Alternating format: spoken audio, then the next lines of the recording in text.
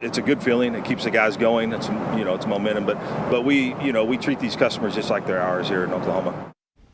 And all new here at 9, OG&E proudly showing up to help uh, Houston after Hurricane Beryl. We watched as a 100 linemen loaded into their trucks and started their journey around 6 a.m. This is where we find Cameron Seibert, who talked with OG&E to learn more about how they plan to help.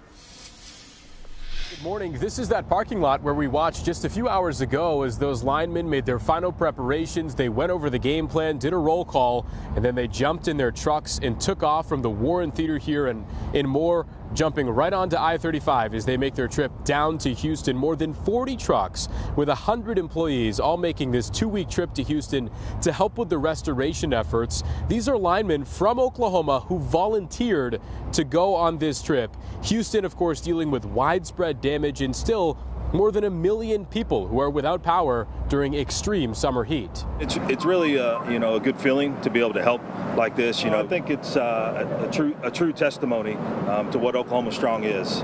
You know, when when we get these calls, um, you know, it's you know, it, it is a volunteer uh, opportunity, uh, but we do volunteer, and I think it just supports what who we are here in, in the state of Oklahoma. So OG&E says it's possible their teams could stay in Houston longer than two weeks if the need is there.